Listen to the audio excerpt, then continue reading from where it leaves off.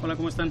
Ya que este, la piña le haya salido de estas raíces, que tenga unos meses ya en, eh, en este frasco con agua que anteriormente lo habíamos hecho, vamos a hacer este, un agujero en, la superficie para poder plantarla.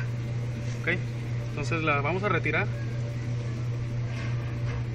de esta manera y vamos a dejarla empezar a echarle tierra.